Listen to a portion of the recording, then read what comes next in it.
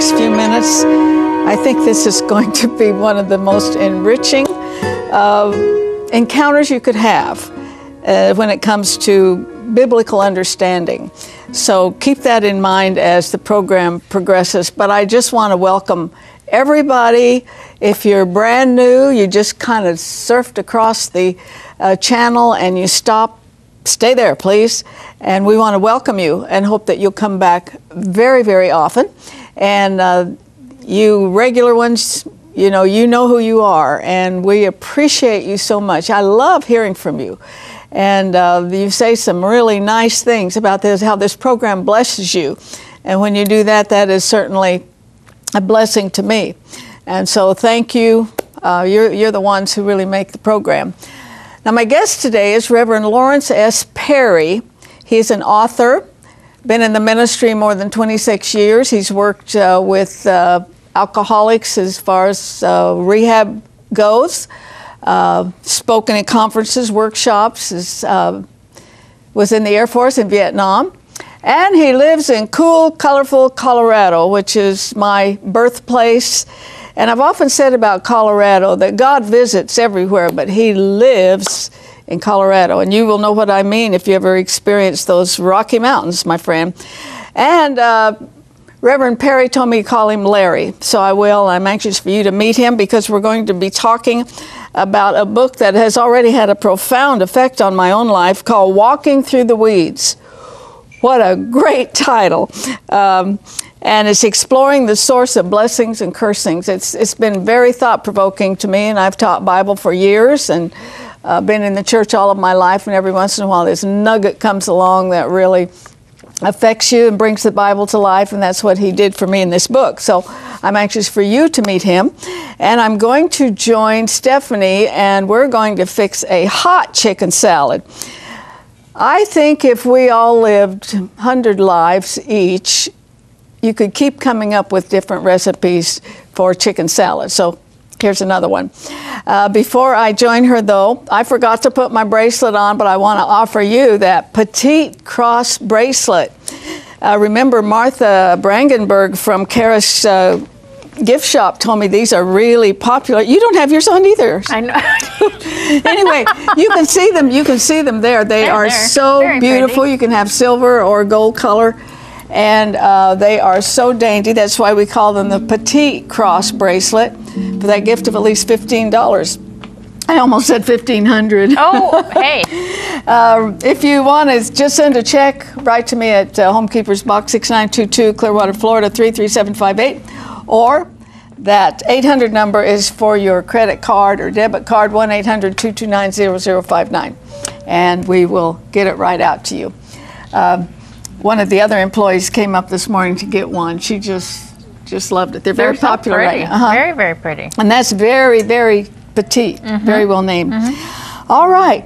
Now, I make the best chicken salad in the world. It's uh, more of a Hawaiian world? type. Yes. Have we made it on the show? Yes, we have. We might and if you order it this, if you order this one, we'll send you mine too. Oh, uh, this one's hot, and the mine has uh, oh, chestnuts and everything in it. Nice. Well, we won't go into that. This, Okay. This is a meal. Okay. You get to spray the pan. Yeah, and That's your job. Our rule is kind of like anything that goes in in the oven, spray it. Most definitely. Yeah, Yep. because So- we have uh, failed to do that sometimes and wished we had. Yeah, I have three cups of diced chicken And that was a rotisserie chicken. that we just cut up, right? And- Super easy. I tasted it. It tastes so good. Two cups of diced celery. The way they um, season them, the rotisserie. Yes, they do. Yes, so good. Half a uh, cup of almonds, sliced almonds. Uh, we have a quarter, a half a teaspoon of salt, half a teaspoon of accent. We have two tablespoons of lemon juice. That's going to give it a kick. Yeah, a little tang. And then we have a cup of Hellmann's mayonnaise. You know, I watched an episode yesterday of us, and you know what I discovered? I need to be a little more dainty when I take my bites of the food because I looked like a pig on show. I'm like, oh, It's Stephanie, probably a good idea once in a while to watch them. Yeah, and then let's see, how much onions do we have here? Oh, two tablespoons of grated onions. Yeah. And then a half a cup of cheddar cheese I have. Mm-hmm. Yeah, it wasn't pretty what I saw. So And you wanna, I'll be more dainty. you want to mix this very thoroughly. Just keep mixing and mixing so that all of those good flavors. Mm -hmm. And then um, we'll put this in the in this braided casserole dish, and then on top we'll put a cup of um, crushed corn flakes, and we'll put another half a cup of cheddar cheese. I got jumpers here. I'll And fill you- that back in. Yes, and then you bake it for 450 at 450 for about 10 to 15 minutes. Yep. And It uh, smells really, really. yeah, you got your meal there. For sure. Mm-hmm. You can make this, you know, the night before or whatever. Throw it in the oven when you're ready. You can make this. This would be a good freezer Yeah, meal. it doesn't have to bake very long. All it's supposed to do is just heat up good. And this one's bubbling, very hot. That And you know what I really was thinking? We we really give you recipes if you have a family and you don't have a huge budget for food. We really offer things that can give you variety. I think that's important. That Sure. You could get a rotisserie chicken from the grocery store. You would only need half of the rotisserie chicken Mm-hmm. for this. You could use the other half for another meal. sandwiches. Mm-hmm.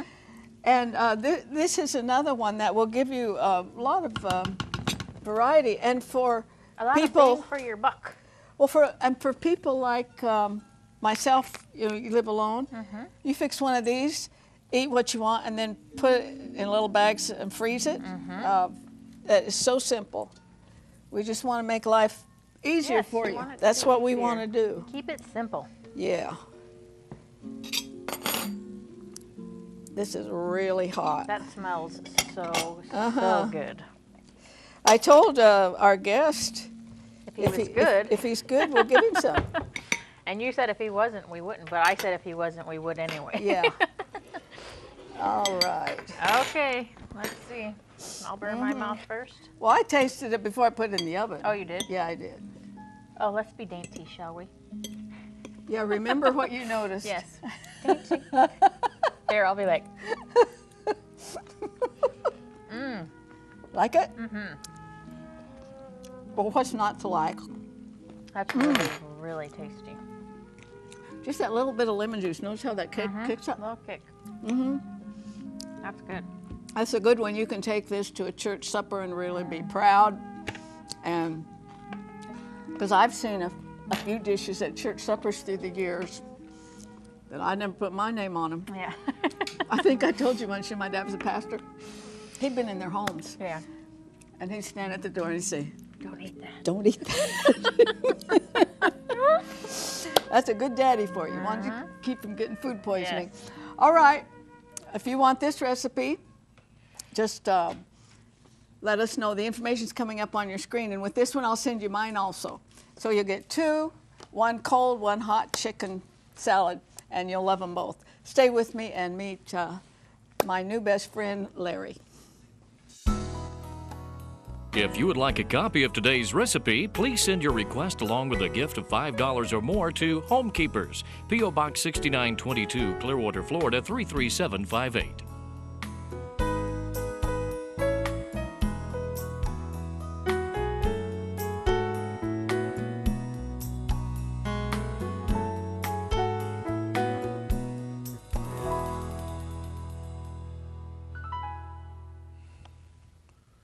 Okay, welcome, uh, Reverend Lawrence Perry, and I've been given permission to call him Larry, and he was just telling me you cook too. Yes. Describe what this thing is that you could fix if you had the stuff. Coquille Saint Jacques. Never heard of that. Oh, it's a uh, scallop shrimp uh, and crab dish that is uh, marinated uh, in a uh, mushroom cream sauce with uh, sherry, and it's to die for. That sounds really complicated. That sounds oh, kind oh, of no, high it's end, very no. Well, it's like you get in a high end restaurant. Yes.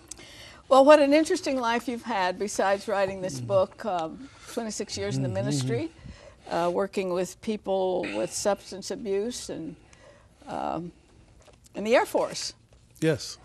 Did you, uh, did you go to school for the Air Force in Colorado no, Springs? No. Uh, to be honest with you, uh, after I graduated out of high school, I really wasn't ready for college.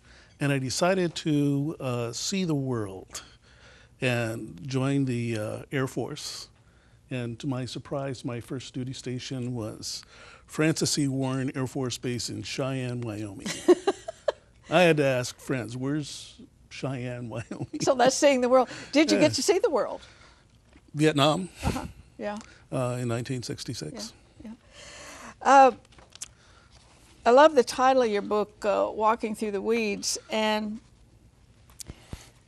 I think that the thing that struck me when I read the first few pages is how rich and detailed, small details, the Word of God is when you really get into it. Oh, yes. And what got me was I've always known about the wheat and the tares, uh, which tares are weeds, and that you can't pull up the tear. Of course, that was talking about people, but you can't pull up the tares because you might hurt those younger bits of uh, legitimate grain.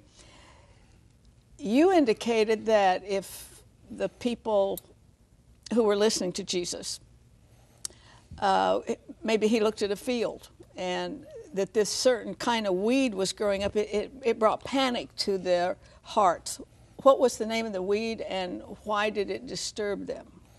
Well, the weed uh, is called darnel, and the unique thing about it is that it uh, it replicates wheat when it first sprouts.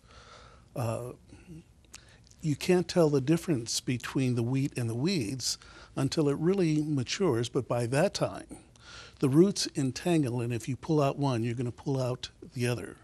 The other interesting thing is that it is it was toxic uh, as well. Wow, So that's powerful. Yes, it is. And, and then if you tried to pull them out, you're going to pull out the wheat too. Exactly.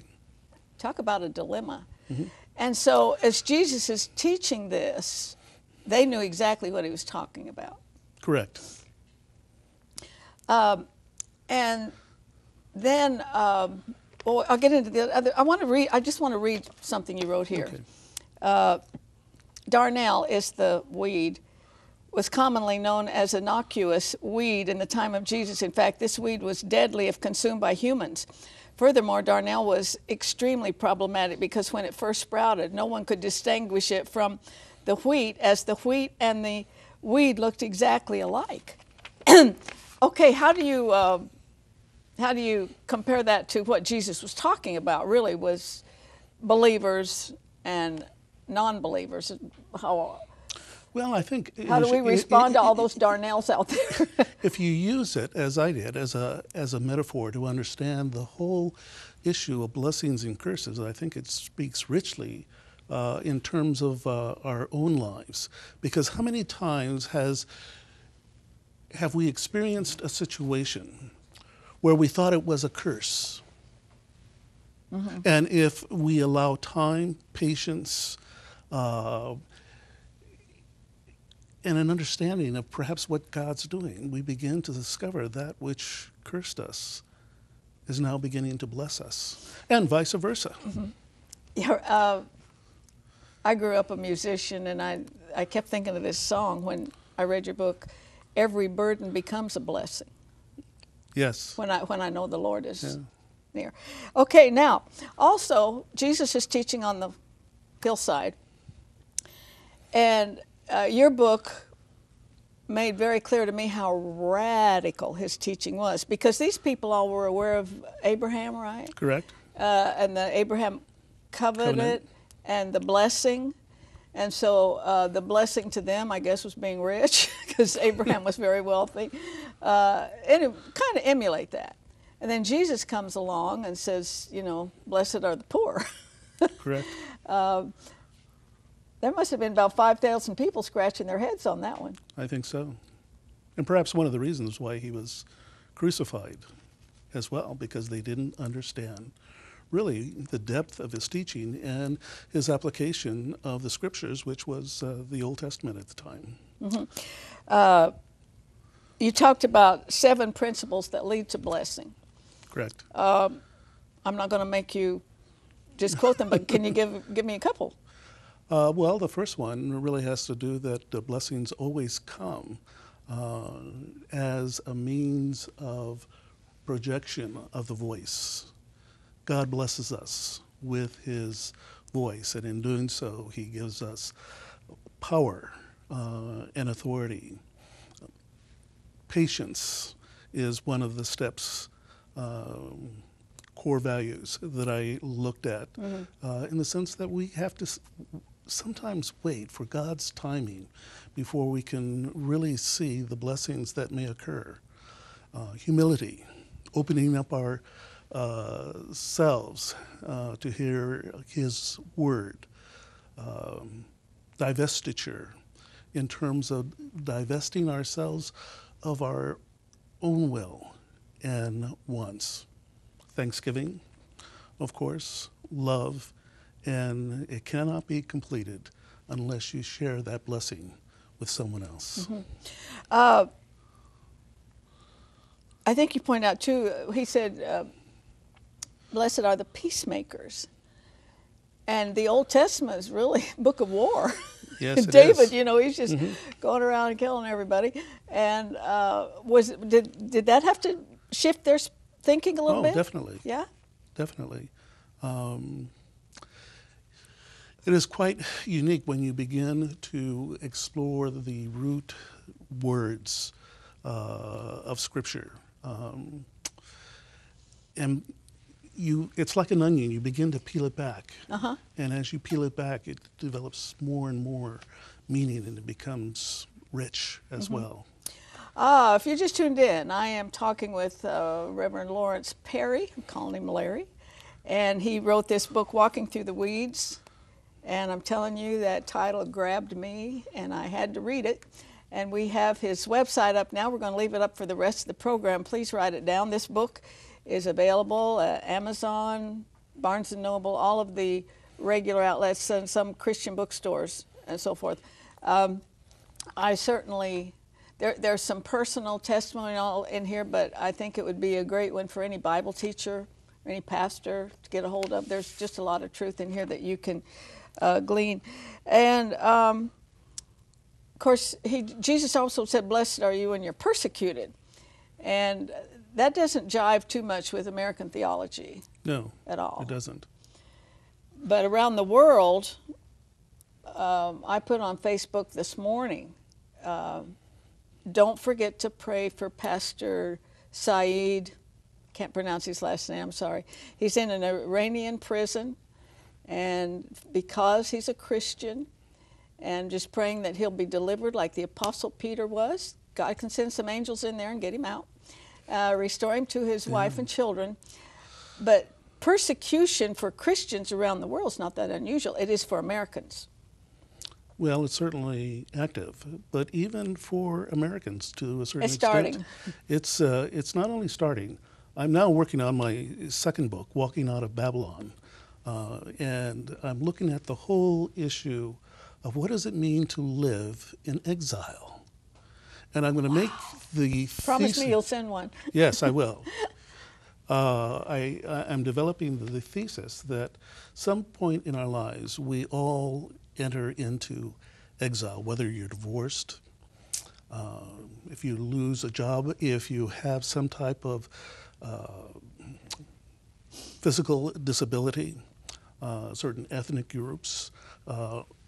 Many of us have experienced the, uh, the problems and the persecution of living in exile. And what do you do when you get stuck? That's where I'm going with uh, that particular book. I'm anxious to. Uh, I'm anxious to get it. Now, was it your daughter's situation that that really was the genesis for this book? certainly part of that situation when she was a, um, a freshman at the University of Wyoming. She uh, came home one day and shared that she was having some difficulty, and she began to explain what was going on. And I had a uh, uh, friend of mine who was a psychologist on our staff uh, look at her, and she was diagnosed with uh, paranoid schizophrenia. And then from there, we had to uh, get a second opinion, and that was confirmed. Uh, and that was that was a painful time in our lives. That was an understatement right there. I, Oh, I, you know, I, I've had children with problems, but uh, physical problems, but that diagnosis uh, would speak terror, I would think. Well, it did. It raises uh, all sorts of questions uh, for me, even as I was uh, pastoring at the time. Where's God in this? I mean, she's a beautiful uh, young lady. She was she was uh, she's smart, intelligent. She had a lot of potential, and uh, that came crashing down on us as as a family. Uh, ironically, what we discovered later was that it was a misdiagnosis, and that uh, perhaps the correct diagnosis was a little-known uh, disease called sarcoidosis, which we're trying to deal with now. Yeah. Now, in the scheme of your book, you get this diagnosis, which I'm somewhat familiar with. I have a friend uh, with paranoid schizophrenia, and uh, so, but it's this. It's not this. It's this.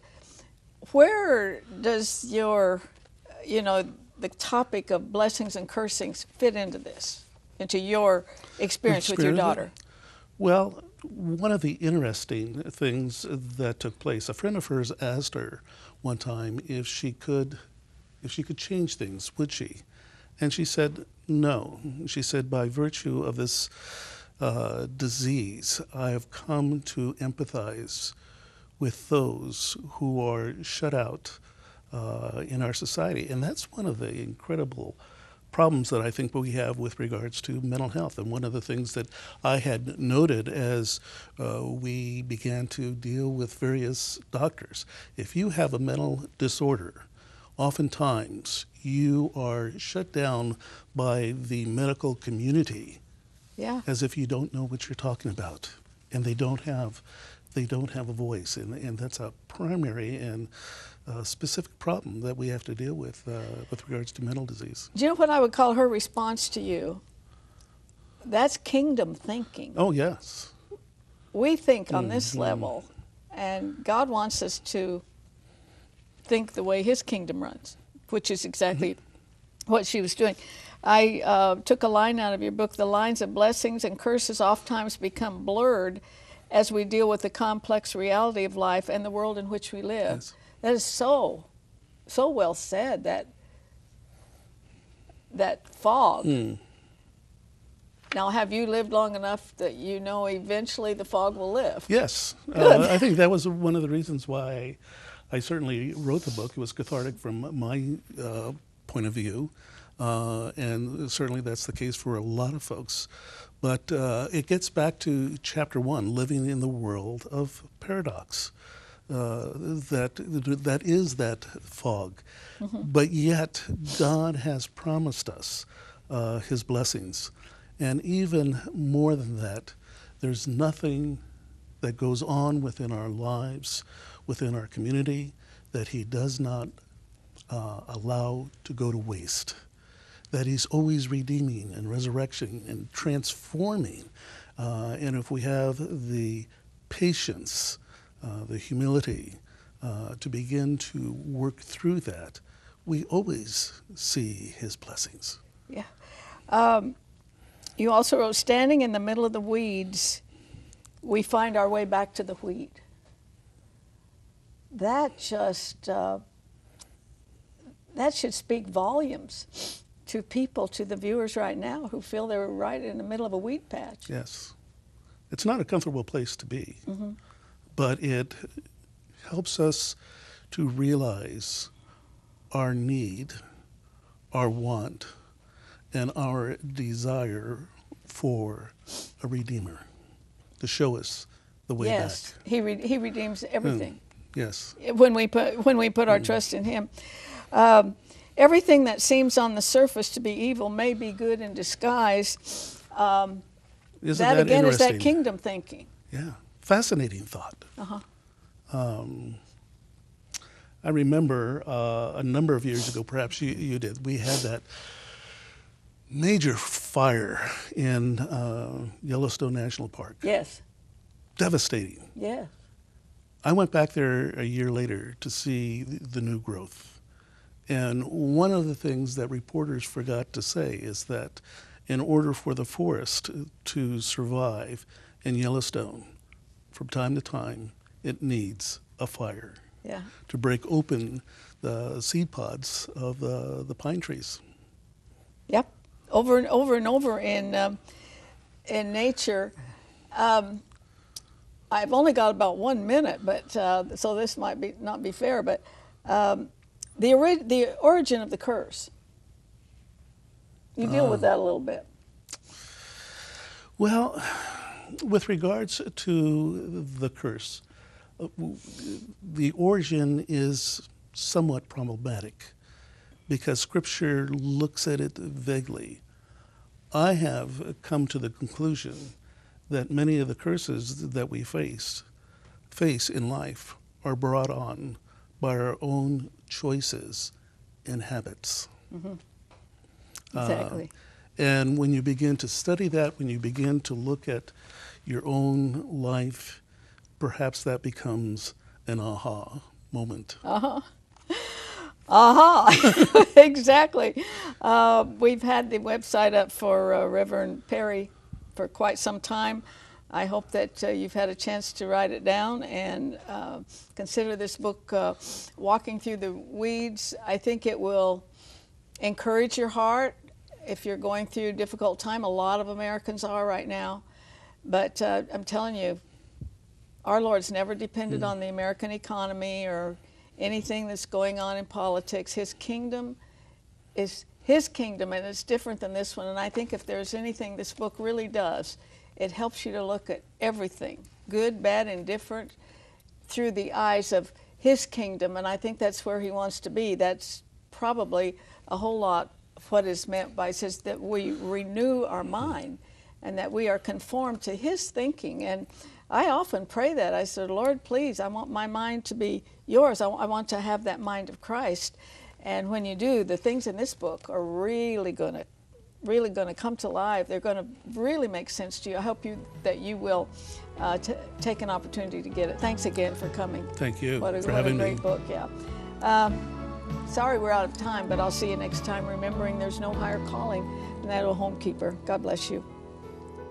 If you would like a video copy of today's Homekeepers program for just $19.95, call 1 800 229 0059 for credit card orders or send a gift of at least $19.95 to Homekeepers, P.O. Box 6922, Clearwater, Florida 33758. Be sure to note the program number which appears on your screen.